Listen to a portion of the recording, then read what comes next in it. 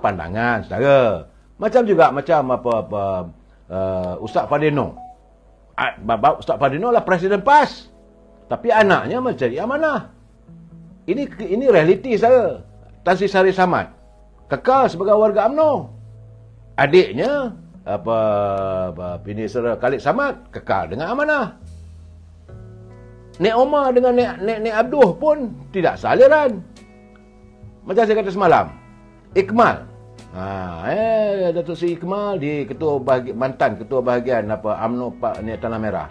Dia keluar menyertai satu. Anak dia kekal lah UMNO. Malahan saya. Jangan lupa. Susah politik. Mantan susah politik Datuk Senajib. Itu Datuk Syahlan. Dia tak saliran dengan adiknya iaitu Datuk Sri Syafuddin. Sisi Agung Parti Keadilan PKR. Jadi itulah sekarang ni saya malahan saya satu lagi saya nak mengingatkan. Ha, saya tengok juga edisi siasat menulis. Saya kata ada logikanya apabila edisi siasat uh, menulis bagaimana dia kata uh, Tuan Haji tak usahlah kita. Dulu pun saya dah tegur janganlah melabelkan sama manusia ini dengan apa perlambangan binatang macam orang UMNO ke orang kerajaan perikatan apa Pakatan Harapan ini tupai lah katanya. Eh, tak usahlah. Kena ingat tupai ke kera ke itu merupakan daftar kata nama binatang. Ha, saya jadi tak payahlah. Kenapa tidak kita wujudkan nama-nama yang lain? Ha, Tuan Guru, saya menegur ni sebagai seorang insan. Saya tak pernah pula nak membelasah. Saya. Sebab itu, ha, bagaimana kenyataan Nek Abdul, saya cuma memberi gambaran bahawa kemungkinan besar. Dan hari ini Nek Abdul sudah pun menjelaskan bahawa pertemuan beliau dengan Datuk Anwar Ibrahim adalah untuk menyambung hubungan akrab antara almarhum ayahandanya Tuan Guru Nik Aziz dengan Datuk Anwar Ibrahim. Sebab itu beliau bersama adiknya mengadakan pertemuan dengan Datuk Seri Anwar Ibrahim waktu kunjungan Datuk Anwar Ibrahim ke Kelantan. Itu penjelasan. Dan beliau juga menjelaskan bahawa beliau masih lagi ahli PAS. Itu pulanglah ha, pada beliau. Tapi saya cuma mendengar bahawa kemungkinan-kemungkinan dia akan meninggalkan PAS itu wallahualam bisawab secara Cuma sekarang ni saya nak cerita pasal PAS ni saudara. Ha, ini masa PAS ni kadang-kadang lucu juga saudara. Lucu saudara bila saya nampak ada ruangan orang menulis ha, dalam apa media sosial. Saya rasa mungkin mungkin para sympathizer orang yang bersimpati dengan PAS mereka beranggapan bahawa semua parti-parti yang ditinggal oleh PAS sebagai janda. Ha, ini saya ingat lagi waktu saya pernah mengadakan apa siaran bersama Datuk Lokman Nur Adam Ha, dia memberi perlambangan bagaimana PAS ni dia berkahwin dengan AMNO di Thailand umpamanya katanya. Lepas tu balik ke Kuala Lumpur dia kahwin dengan orang lain.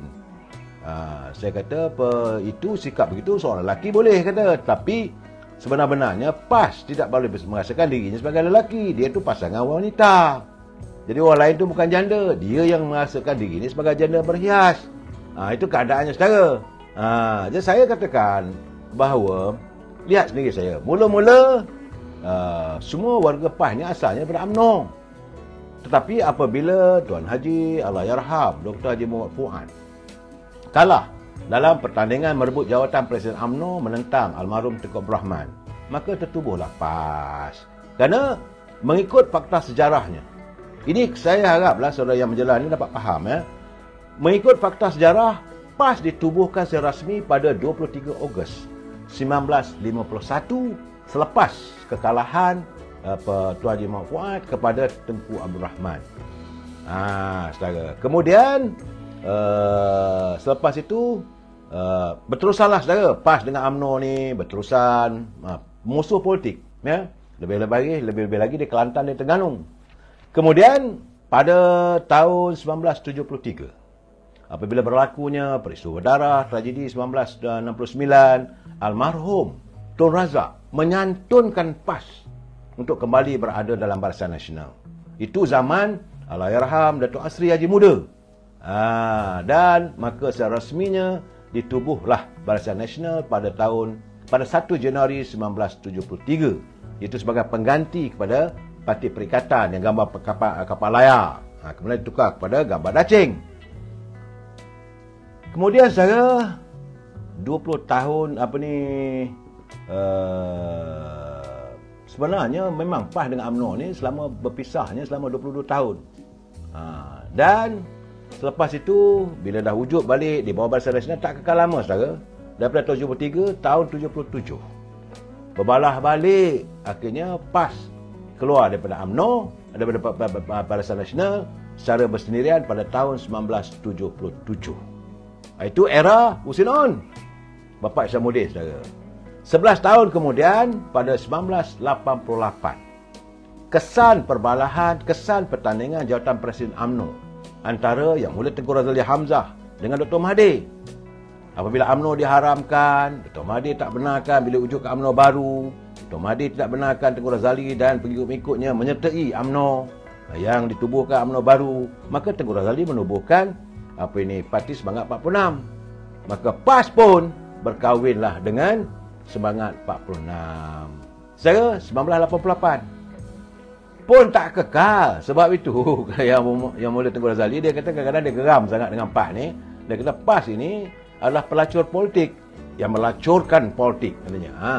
Kerana pada 1 April 2008 selepas apa uh, ini tak ada lagi dalam semangat Angkatan Perbuatan Umah ya, saudara lahir apa selepas uh, uh, Parti Keadilan yang dipimpin oleh Dr. Wan Azizah ha, selaku Presiden Parti Keadilan. Ketika itu, Datuk Seri Anwar Ibrahim berada dalam penjara tahun 2008. Ha, saudara, PAS pun menyertai pula keadilan mewujudkan apa ni, Pakatan Rakyat. Ikatan Perkahwinan PAS dan Keadilan dalam tu juga ada DAP saudara, jangan lupa. Gambar berpeluk-peluk dah jadi dengan DAP dan sebagainya. Ha, pun tak kekal. Pada tanggal 16 Jun 2015. Akhirnya Susu Agung Parti Tindakan Demokratik Lim Guan Eng mengisytiharkan bahawa Pakatan Rakyat dibubarkan ha, kerana tidak ada lagi kerjasama antara satu parti PAS itu uh, dengan dalam komponen Perikatan uh, Pakatan Rakyat. Jadi PAS pun kembalilah berkelana. Ini cerita dia saudara. Uh, selepas beberapa main mata pula dengan UMNO hinggalah pada tanggal 14 September 2019 temetrailah piagam muafakat nasional di mana PAS ha, erat merangkul AMNO atas nama penyatuan umat. Hebat saudara waktu tu. Ramai yang menangis apa semua tak perlu dah ulah lagi. Basah Dewan Merdeka tu. Pun tak kekal lama saudara. Ha, PAS akhirnya menyertai Perikatan Nasional pada 7 Ogos 2020. Ini realitinya saudara.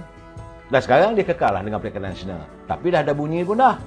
Ha, dengar bunyi-bunyinya bakal ada masalah. Jadi itu ceritanya cinta yang tak lama. Dia janganlah pula Warga PAS mengatakan, ha, ini janda dia. Ha, DAP itu janda PAS. AMNO janda PAS. Apa, Parti Semangat 46 janda PAS. Sebenarnya bukan janda PAS.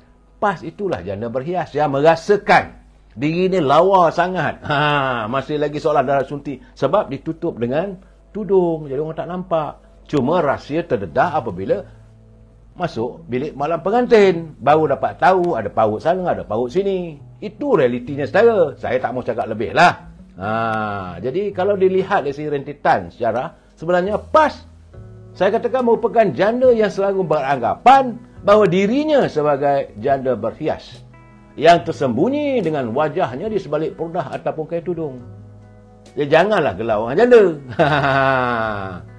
Itu keadaan yang terbaru. Besar kemungkinan katanya ada pula. Mungkin. Ha, sebab dah mula main mata Dr. Mahdi. Dan keadaan ini tidak disenangi oleh gagasan dalam Perikatan Nasional.